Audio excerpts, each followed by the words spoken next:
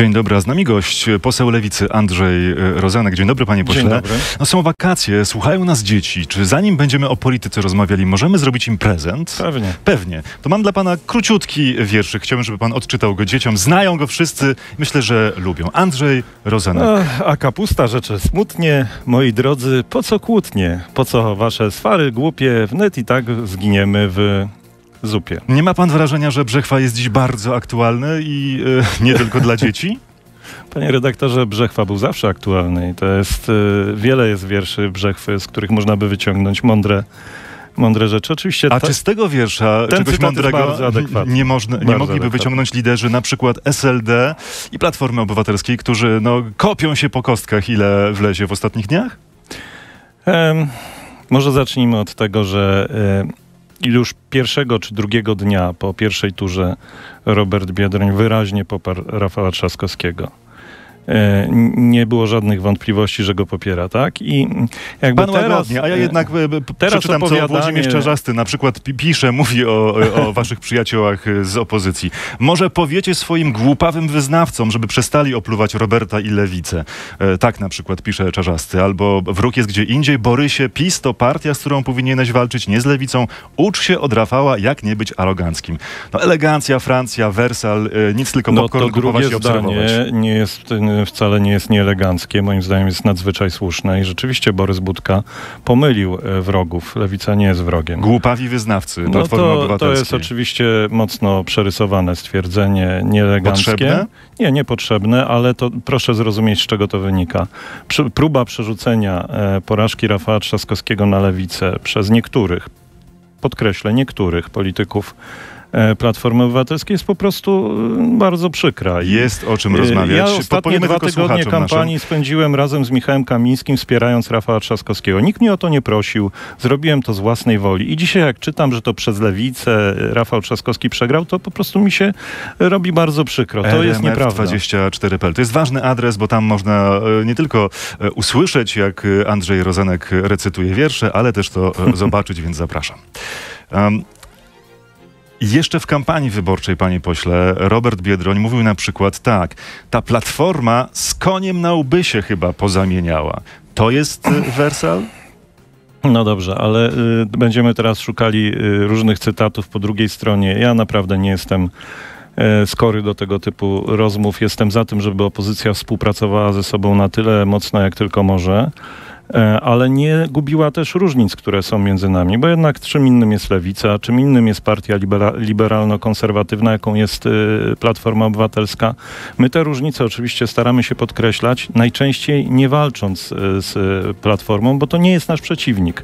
A czy wytykanie Platformie, że przegrała szósty raz e, wybory, to jest ta e, koncyliacyjna strategia opozycji na to, Ja jak, jak mówić, walczyć razem? e, Ma pan rację, panie redaktorze. Wolałbym mówić na przykład o udanych projektach, o tym, że wspólnie opozycja stworzyła listy do Senatu i dzięki temu dzisiaj mamy 51 senatorów i senatorek w Senacie i możemy mówić, że Senat jest w pełni demokratyczny. Właśnie, cóż bo- tego, że ja mam rację, ale to może Włodzimierzowi Czarzastemu trzeba powiedzieć, żeby nie wytykał Platformie, że szósty raz przegrała wybory, skoro Lewica przegrała te wybory raz, któryś, kolejny. Lewica niedawno weszła do Sejmu, co było ogromnym sukcesem po niebycie w, e, przez całą nie wygrała, kadencję. panie pośle. E, zrobiła całkiem przyzwoity wynik, ponad 12%.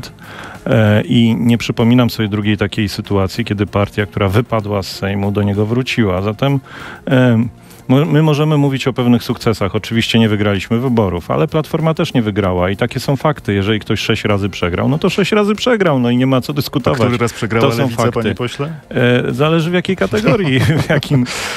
No dobrze. Dlaczego nie, doszło, wyścigu? dlaczego nie doszło do spotkania Roberta Biedronia i Rafała Trzaskowskiego przed drugą turą wyborów? No ujawniła to pani Pomaska, zdaje się, u pana redaktora zresztą w audycji, że nie było czasu na to.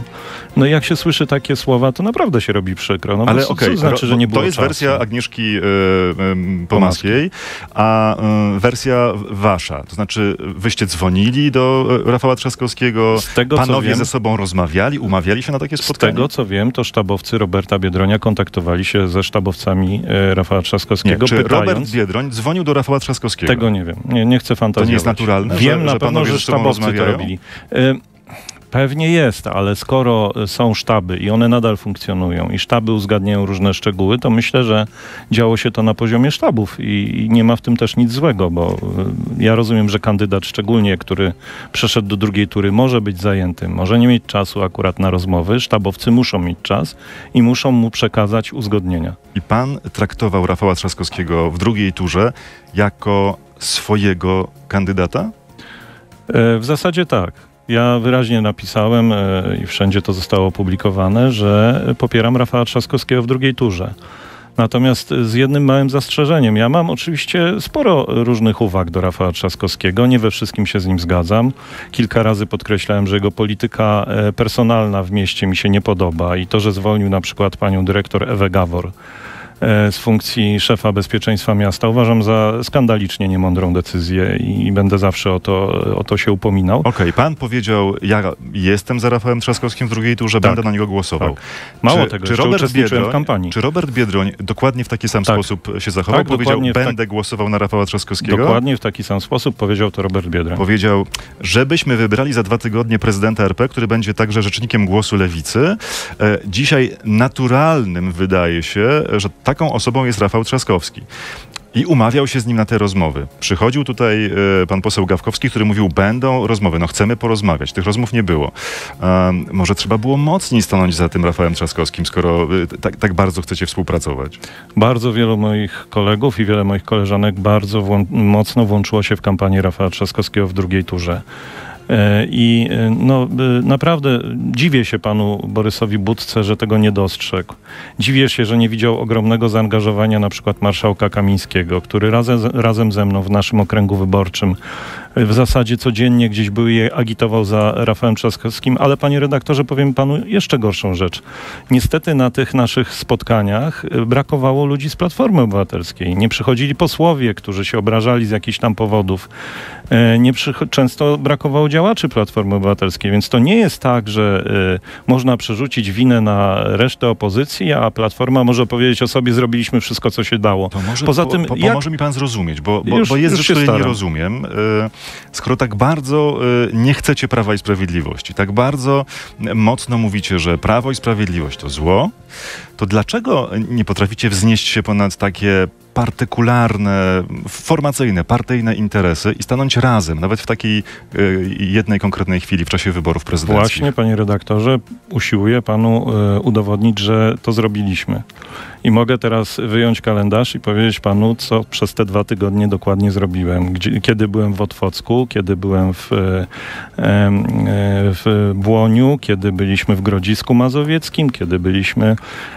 W zasadzie byłem w każdym e, powiecie z naszego okręgu. Okej, I Czy tam widział pan kandydatów akcje. opozycji za Rafałem Trzaskowskim stojących? Kośniak-Kamysz, Biedroń e, razem z Trzaskowskim? Widziałem na przykład marszałka Michała Kamińskiego, Pytam który sta, stał obok mnie. Widziałem pana posła Macieja Laska, który stał obok mnie e, e, na rynku w Piasecznie i uważam, że to był dobry obrazek. Okej, ja pytam o kandydatów, no bo, E, bo, bo tu jest obrazek, którego chyba jednak zabrakło. Jednoznacznie Robert Biedroń poparł Rafała Trzaskowskiego. Co do pozostałych, wydawało mi się, że na początku zrozumiałem, że pan Hołownia też popiera Rafała Trzaskowskiego, natomiast potem nastąpiły jakieś dziwne jakby zwroty akcji, których ja nie rozumiem.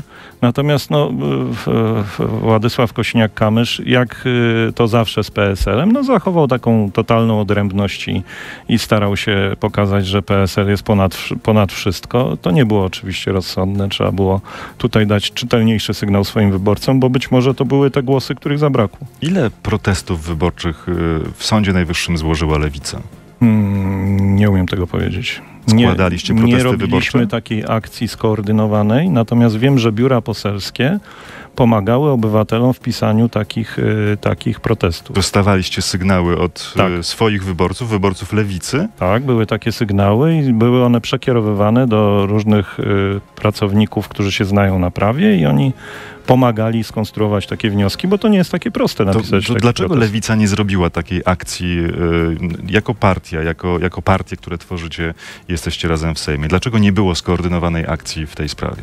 E, Wydaje mi się, że e, taką skoordynowaną akcję zrobiła Koalicja Obywatelska i jakby To, to tam, jedna, tam większość pytanie, zapału wyborców poszła. My tam, gdzie była taka potrzeba, przyjmowaliśmy oczywiście na, na dyżurach poselskich i instruowaliśmy ludzi, jak to zrobić, żeby to było przyjęte przez Sąd Najwyższy, bo te protesty są dosyć skomplikowane. A komitet y, wyborczy y, stojący za Robertem Biedroniem nie widział potrzeby złożenia takiego protestu? Myślę, że gdyby więcej było takich interwencji, to pewnie byśmy to robili, a ponieważ były to śladowe interwencje, bo wszyscy poszli i tak do Koalicji Obywatelskiej, no to tam udało się własnymi siłami posłów to zrobić. Pośle, ale to ko- niech koalicja obywatelska się tym zajmie, Mhm. my popatrzymy y, Nie, z nie, boku. No panie tak redaktorze, no jeszcze raz, bo pan przekręca trochę moje słowa. Wyraźnie, tam gdzie była taka potrzeba, biura poselskie pomagały w e, konstruowaniu takich wniosków. Nie, ja pytam o to, dlaczego e, Lewica i komitet wyborczy stojący za Robertem Biedroniem e, nie widział potrzeby e, To nie złożenia kwestia protestu. tego, że nie widział. Jeżeli by była na przykład sytuacja taka, że mnóstwo naszych wyborców lewicy przyszłoby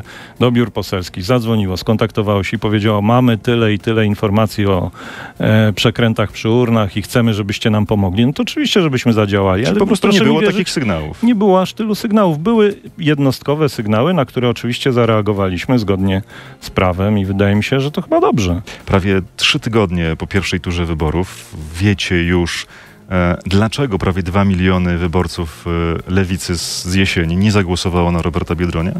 Mm, ja to chyba wiem najlepiej, bo ja podobną historię przechodziłem w Warszawie, gdy mm, zastąpiłem Andrzeja Celińskiego w Tak, takich Czerzasty mówi o syndromie trudnych, trudnych e, okolicznościach I, i rzeczywiście najpierw e, były całkiem przyzwoite sondaże, 7% nawet. A potem, gdy mm, ludzie przestraszyli się Patryka Jakiego, okazało się, że w pierwszej turze wszyscy głosują na tego, który ma największe szanse z nim wygrać. Nawet doszło do tego, że Rafał Trzaskowski wygrał w pierwszej turze. E, I rzeczywiście ten elektorat odpłynął. Co najciekawsze, e, gdy porównać moje wyniki n- w wyborach na radnego, bo jednocześnie startowałem na radnego i na prezydenta, to w tym samym okręgu wyborczym więcej głosów dostałem na radnego niż jako kandydat na prezydenta. To znaczy, że po prostu nasi wyborcy są tak przestraszeni pisem, że w takich okolicznościach wybierają tego, który jest najsilniejszy. Okej, ale zastanawiał się pan na tym, dlaczego Krzysztof Bosak na przykład potrafił utrzymać y, wyborców Konfederacji, którzy też przecież mogli odpłynąć już w pierwszej turze, a jednak przy nim zostali. No to jest proste. A Robert Biedroń nie. Wyborcy Konfederacji po prostu nie są tak przywiązani do demokracji, nie są tak przywiązani do wolności i nie jest ich tak łatwo przestraszyć yy, mm, rządem, który zmierza w kierunku dyktatury, bo oni sami by chcieli taką dyktaturę wprowadzić, tylko bardziej brunatną niż, yy, niż to robi Prawo i Sprawiedliwość i to jest jasne, proste wytłumaczenie. Czy w czasie kampanii wyborczej działacze SLD y, wyborcy alarmowali, że Robert Biedroń staje się kandydatem jednego tematu? Nie, nie, nie, nie słyszałem takich y, głosów. Wręcz y, e, uważam, że te ym, postulaty, które Robert Bied- Biedroń wciągnął na sztandar, czyli na przykład milion mieszkań, e, najniższa emerytura 1600 zł, e, 7,2 PKB na służbę zdrowia, leki po 5 zł dla seniorów, to są postulaty, z którymi lewica będzie nadal iść e, i to jest pewien dorobek, który, z którym powinniśmy trwać do najbliższych wyborów. Tak, miał to w programie, mówił o tym na spotkaniach z wyborcami, a dla wielu, także ludzi lewicy, pozostał kandydatem, którego głównym hasłem jest LGBT. Proszę posłuchać, co mówił Aleksander Kwaśniewski y, tuż po wy- wyborach w tym studiu. To był z jednej strony efekt polaryzacji, ale z drugiej y, przestrzelono z oceną oczekiwań elektoratu lewicowego. Lewica uznała, że ta światopoglądowa sfera będzie numerem jeden. Tu popełniono błąd. Hmm. Ja generalnie bardzo szanuję pana prezydenta e, Aleksandra Kwaśniewskiego. Myślę, że on może mieć tutaj trochę racji, ale z drugiej strony chyba nie ma mm, wymówki. Nie możemy sobie mówić my jako lewica, że nie ma dobrego czasu na walkę o prawa człowieka. Że odłóżmy te prawa człowieka na powiedzmy za pięć lat, może będzie lepsza sytuacja, może ludzie będą chcieli bardziej o tym rozmawiać bo no, prawa człowieka są fundamentem programu każdej lewicy na całym świecie. I no, ja na, nie znajduję argumentu, żeby powiedzieć, słuchajcie, no, w, w tym roku akurat nasz kandydat nie będzie naszym kandydatem, bo jest gejem, tak? Y, To, to lewica nie może po prostu w ten sposób postępować. My tego w ogóle Aleksander nie bierzemy pod uwagę. Sam Biedroń, chcąc nie chcąc i przedstawiając bardzo wiele pomysłów, bardzo ciekawych, również dotyczących sfery socjalnej, został utożsamiony tylko z jednym punktem programu, czyli tolerancji, wolności dla środowisk LGBT, Mm, a na ten postulat i cała Polska, ale jak się okazało, również środowiska lewicy w całości nie są jeszcze przygotowane. Ja myślę, że to jest diagnoza przesadzona, a nawet jeżeli jest w niej dużo prawdy, no to kiedyś trzeba zacząć, od czegoś trzeba zacząć. I mm, zmiana em, postrzegania środowisk LGBT być może właśnie się zaczęła od kandydatury Roberta Biedronia. Ja wiem, jak jest w Polsce i naprawdę jeżdżę po Polsce i widzę, że w pewnych środowiskach homofobia jest tak głęboko zakorzeniona, że będzie bardzo ciężko z nią walczyć. Ale mimo wszystko, no musimy do licha kiedyś zacząć. No nie możemy tego odkładać na wieczne nigdy i cały czas sobie mówić jeszcze nie teraz, jeszcze nie teraz, bo są ważniejsze sprawy. To jest jedna z najważniejszych spraw, bo wolności człowieka nie, nie mogą być odkładane, nie mogą być schowane ze względów taktycznych, politycznych. Oczywiście każdy powie, że nie wiem, y, by, wystartowałby na przykład Wodek Czarzasty, to miałby lepszy wynik, ale my tego nie wiemy. Okej, ale no, okej, to I- i ja proszę jestem- pomyśleć przez chwilę. Pan jest y, teraz z SLD związany. W związku z tym, czy dla wyborcy SLD, takiego tradycyjnego wyborcy SLD, Włodzimierz Czarzasty nie byłby lepszym kandydatem na prezydenta? Może by był, może by nie był, tego nie, nie wiemy, bo tego nie więcej głosów niż sprawdziliśmy. 2%? 2,2%? Przypominam to, co nazywa Włodek Czarzasty syndromem Rozenka. Ja uważam, że to było kluczowe, a nie to, że Robert Biedroń ma taką orientację, a nie inną.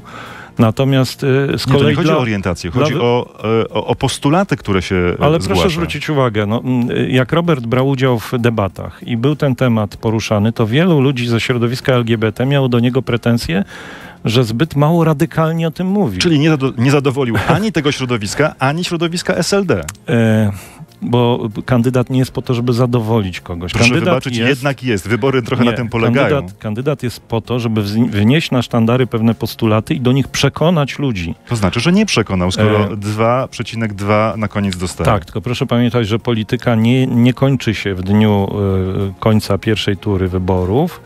Polityka y, jest mm, nieustannie dziejącym się procesem. I ten proces zainicjował Robert Biedroń. Wniósł na sztandary pewne ważne postulaty, wśród nich też postulat y, obrony praw człowieka. I ja uważam, że to jest ogromna wartość. I ta wartość będzie niesiona przez lewicę nadal.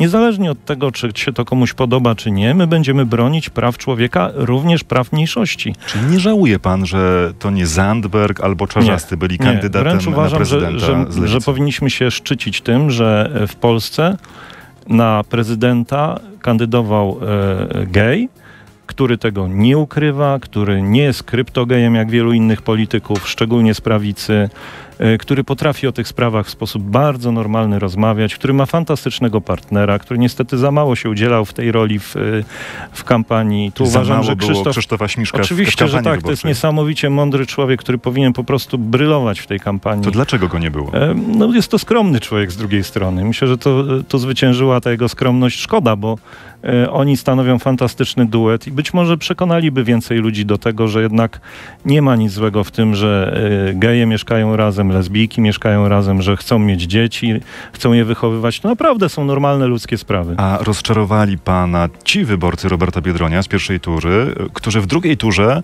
zagłosowali na Andrzeja Dudę, bo to jest kilkanaście procent y, wyborców. Tak szczerze, średnio wierzę w te, w te badania. No, nie, nie znam żadnego Wyszli wyborcy. z lokalu wyborczego i okłamali ankietera. Nie wiem, no ja y, patrzę po swoim otoczeniu, po swoich koleżankach, kolegach, nie znam nikogo, naprawdę.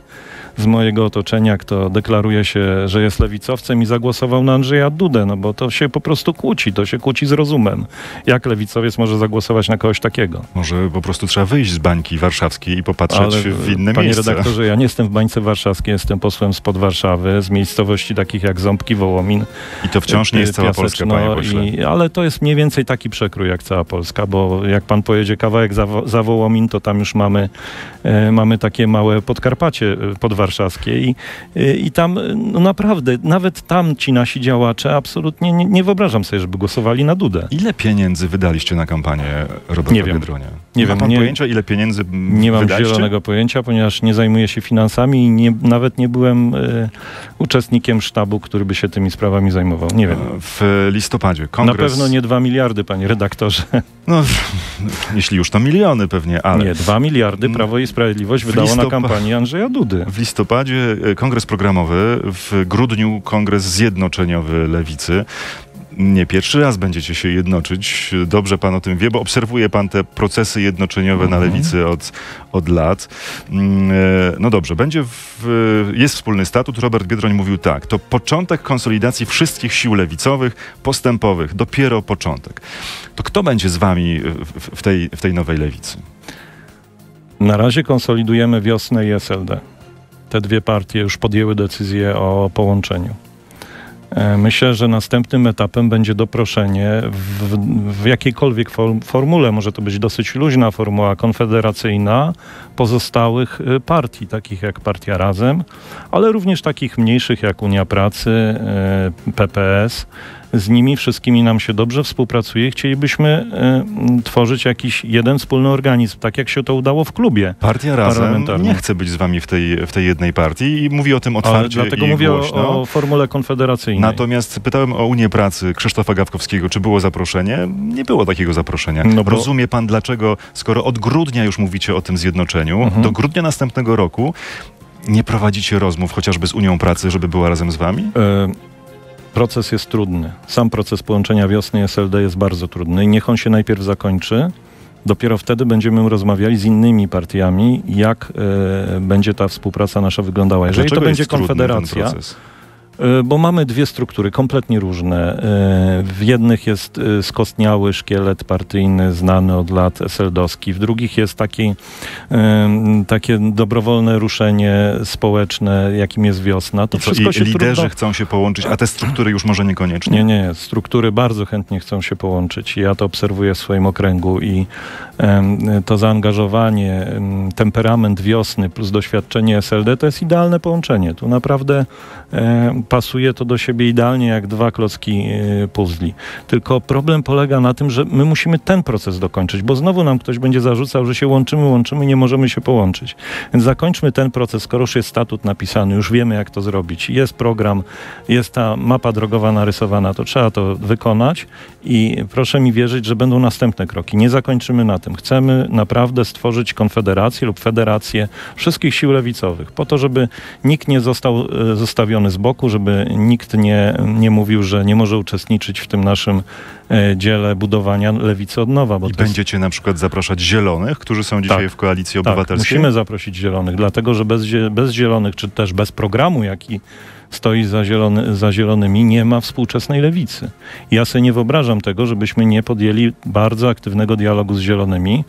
E, Z góry nie przesądzam, jaki będzie tego efekt, ale ten dialog na pewno musi nastąpić. Zresztą Lewica, mówię tu o SLD i o Wiośnie i o Partii Razem, te progr- programy y, związane z, z Zielonym Ładem już dawno ma w swoich statutach i w swoich y, programach wyborczych, także tu nas praktycznie nic nie dzieli z, z Zielonymi. A kto stanie na czele tej nowej e, lewicy? Będzie dwoje, dwóch y, lub dwie przewodniczące. I duet Czarzasty-Biedroń to jest dla pana naturalny duet, który powinien się tam pojawić? Prawdopodobnie tak, chociaż oczywiście o tym zadecydują y, wybory, wybory demokratyczne, które wskażą dwóch liderów, którzy będą przewodzić tej nowej sile. A obie partie w, w tym zjednoczeniu będą miały taką samą siłę? Czy, Tak. czy, czy SLD przeważy y, Tak jest, głosami sko- nad, tak jest nad... skonstruowany ten statut, że e, wybory na dwoje, dwóch przewodniczących będą się odbywały na szczeblu centralnym i na szczeblach wojewódzkich. I zawsze będzie tak, że jedna osoba będzie z partii Wiosna, druga z partii SLD. W związku z tym, jak widać, jest 50 po 50 i tutaj nie ma, nie ma żadnej przewagi. Nikt nie może powiedzieć, że jest pokrzywdzony. Sekretarz generalny wiosny Krzysztof Gawkowski już w grudniu zeszłego roku mówił tak. W 2023 roku nie będzie e, 49 posłów i posłanek lewicy, nie będzie dwóch senatorów, będzie nas ponad e, 231 mandatów w polskim parlamencie. To jest nasz cel. Pan się już uśmiecha, rozumiem, widząc ten wielki sukces e, w 2023 Nie, no ja roku. za to szanuję właśnie E, Krzysztofa Gawkowskiego, że jest takim optymistą. Że ma wizję. No że właśnie, ma takie wizje. to by oznaczało, że lewica w 2023 roku zdobędzie jakieś 40, ba 50% głosów w wyborach parlamentarnych. Były już takie sytuacje w polskiej Bardzo dawno temu. historii, że Wielu z naszych widzów już nie pamięta tych czasów. 43% głosów. Niestety zostało to w sposób spektakularny, zmarnotrawione i między innymi dlatego dzisiaj Lewica przeżywa te, ten taki kryzys, jaki przeżywa. Okej, okay, i pan dzisiaj, poseł Lewicy, wierzy w to, że w 2023 roku będzie pan w, w, na listach takiego komitetu, który zdobędzie 40-50% głosów? Panie redaktorze, jestem z założenia niewierzący, ale generalnie zrobię wszystko, żeby tak było. No ale okej, okay, ale pana zdaniem, tak realnie patrząc, to jest możliwe? Skoro Prawo i Sprawiedliwość może dzisiaj pełnić e, rządy jednopartyjne, e, a przecież e, Prawo i Sprawiedliwość nie jest partią, która ma jakiś wybit, wybitny program albo wybitnego lidera, no to nie widzę żadnego problemu, żeby lewica z takimi siłami, z, z takimi liderami nie stanęła do, do walki z PiSem i nie wygrała tej walki. Ja w to wierzę, że jest, jest to możliwe. pana wybitnym liderem. Nie jest. Nie jest. Mo e... Mogę wskazać wiele powodów, dla których nie jest i dla których uważam, że jest szkodnikiem, a nie liderem. To dlaczego Prawo i Sprawiedliwość e, doszło do władzy? i tę władzę utrzymuje. Bo jesteśmy na takim etapie, że Prawo i Sprawiedliwość stało się partią populistyczną, gra na najniższych instynktach ludzkich, i uprawia politykę, która prowadzi niestety nas do bardzo zgubnych skutków gospodarczych i społecznych. Myśli pan, że Czyli... nie używając populizmu, lewica jest w stanie przejąć władzę? Historia uczy, że po rządach populistów, rządach dewastatorów państwa i rządach y, ludzi, którzy szkodzą państwie, przychodzą rządy mądrych ludzi. I w związku z tym wierzę w to, że Lewica ma tu ogromną szansę. Pytał pan swoich kolegów, y, koalicjantów y, z partii Lewica Razem o te pieniądze, te dodatki, które no, niektórych zdziwiły, jeśli chodzi o rozliczenia Myślę, finansowe. że to jest bardzo delikatna sprawa i wolałbym w niej się nie wypowiadać. Odsyłam tutaj do Dlaczego? rzeczniczki pani e, do, Doroty Olko, y, nie wiem po prostu. Nie znam tej sprawy i wolę się nie wypowiadać, no nie, bo... Patrzy pan na doniesienia, z których tak. wynika, że pana koledzy, którzy raczej są za ograniczaniem y, pensji w, w polityce, y, pobierają pieniądze z subwencji partyjnej i to jest poziom 150-180 tysięcy złotych rocznie. To jaka jest pana pierwsza myśl? Y, pierwsza myśl jest taka, żeby porozmawiać z rzeczniczką partii. I rozmawiał pan? Y, nie, no ja to odsyłam dziennikarzy po prostu do pani Nie, rozumiem, rzeczniczki. dziennikarze, ale pan jako y, człowiek z tego środowiska, przecież to także w Ja uważam, że te sprawy trzeba będzie jakoś wyjaśnić i oczekuję właśnie, że pani rzeczniczka tę sprawę jakoś przedstawi w sposób Ale to nie są informacje z dzisiaj, to nie są informacje z wczoraj, panie pośle. No już od dłuższego czasu o tym wiemy. Wyjaśnialiście tę sprawę? Ja nie, ja się tym nie zajmowałem, przepraszam bardzo, ale jestem człowiekiem od innych spraw. Zajmuję się głównie sprawami bezpieczeństwa, sprawami mundurowych, Natomiast wiem, że taka dyskusja na pewno jest przed nami i być może na klubie będzie ten temat podejmowany. Być może. To nie jest oczywiste, że powinien być podjęty. No, o tym zadecyduje prezydium klubu, w którym nie jestem. Więc... To a propos spraw międzynarodowych, krótko na Mówię koniec. dlatego ostrożnie. Domagacie się posiedzenia Rady Bezpieczeństwa Narodowego, jeśli mhm. chodzi o posłów e, lewicy i chodzi o sytuację na Krymie. E, złożyliście w Kancelarii Prezydenta albo tak. BBN nie taki wniosek? Tak. Tak, I został jest, taki wniosek złożony. Jest jakaś Podpisały reakcja? się pod tym wnioskiem trzy osoby, które zasiadają w Komisji Obrony Narodowej, czyli ja, pan poseł Krutul i pani posłanka Pawłowska. Czekamy na reakcję. Uważamy, że e, no, dość już takich sytuacji, że mądry Polak po szkodzie. E, to, co się dzieje na Krymie jest wysoce niebezpieczne, e, a dzieje się to paradoksalnie blisko naszych granic. Dlatego e, Rada Bezpieczeństwa Narodowego powinna się zebrać. Prezydent powinien zasięgnąć opinii byłych prezydentów, byłych premierów, porozmawiać również z liderami opozycji bo musimy być przygotowani na najgorsze warianty. Przypomnę... No tak, bo mówicie, jesteśmy zaniepokojeni, że Federacja Rosyjska może chcieć kolejny raz poszerzyć swoje e, terytorium, a w tle jest problem wody na tak, Krymie. Tak. I mówicie tak, trzeba omówić tę sytuację i ewentualnie podjąć jakieś kroki, dzięki którym Ukraina mogłaby czuć nasze wsparcie. Konkretne trzy kroki, które możemy podjąć, żeby Ukraina mogła poczuć nasze wsparcie. Wielokrotnie w e, dyplomacji były takie sytuacje, że poprzez e, wspólne, wspólne działanie wielu państw, na przykład Unii Europejskiej, udało się zatrzymać e, różnego rodzaju bardzo przykre sytuacje. Myślę, że tutaj nasza dyplomacja mogłaby odegrać znaczącą rolę, gdyby ona rzeczywiście funkcjonowała jak należy. Ale co konkretnie miałaby zrobić? Przypominam, wojnę w Gruzji Tam pojechali przedstawiciele kilku państw i tę wojnę de facto zatrzymali. Polski prezydent powinien pojechać dzisiaj E, na Krym? Nie, ja o tym nie mówię. Ja uważam, że najpierw powinna się e, odbyć Rada Bezpieczeństwa Narodowego. Powinniśmy zapoznać się z tą sytuacją i przedsięwziąć kroki, które będą. O te kroki pytam, panie pośle. No to chciałbym tłumaczę. usłyszeć, Już jakie to są tłumaczę. kroki. Działalność dyplomatyczna. Przede wszystkim być może trzeba zwołać e, jakieś posiedzenie specjalne NATO tej sprawie, bo mamy sytuację, gdy, e, gdy nie ma wody, a, a to jest sytuacja naprawdę skrajna, e, to wiemy, że państwa są w stanie e, podjąć szczególne działania łącznie z wojną. Bo jaki wybór ma tutaj Federacja Rosyjska? Nie dostarczą tej wody ciężarówkami. E, Skoro gromadzą wojska na granicy e, ukraińsko-rosyjskiej, to znaczy, że robią to z jakiegoś powodu. Czyli mamy działania To dyplomacji, mamy ewentualnie, sąsiad. e, czyli działania dyplomacji, ewentualnie zwołanie jakiegoś, Poza jakiś tym- obrad NATO i po trzecie... Naprawdę, niereagowanie na to, co się dzieje na Ukrainie, doprowadza do tego, że Rosja, Rosja putinowska staje się coraz bardziej bezczelna.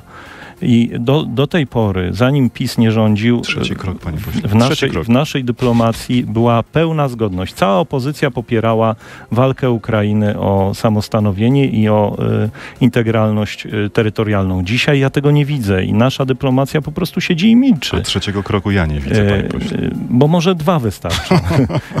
nie zawsze trzeba Um. robić trzy kroki. Trójka jest piękną liczbą, ale może dwa wystarczą. Zgoda. A może wystarczy jeden, ale sensowny i taki, który rzeczywiście wybrzmi na arenie międzynarodowej. Na razie pan prezydent jest skupiony na rozmowach z komikami, a ja bym chciał, żeby pan prezydent był skupiony na kreowaniu polityki zagranicznej. Będą w tym roku wakacje od polityki? E, No pewnie jakieś będą no, dla poszczególnych posłów, natomiast polityka jest e, niestety wszechobecna i nie podlega wakacjom. A pan na wakacjach y, wyłącza politykę? Potrafi pan wyłączyć politykę, nie Jest- spojrzeć do telefonu, Jest żeby zobaczyć, co się jest dzieje? to szalenie trudne. Staram się to robić, jeszcze nigdy mi się nie udało.